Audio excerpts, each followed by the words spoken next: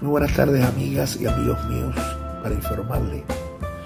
Hoy estaré en Santa Fe Music Hall el próximo 8 de julio para pasarla bien entre música, canciones y algunos arrebatos. Es como una maldición. Un abrazo y un beso a todas y a todos. Bye. Nos vemos.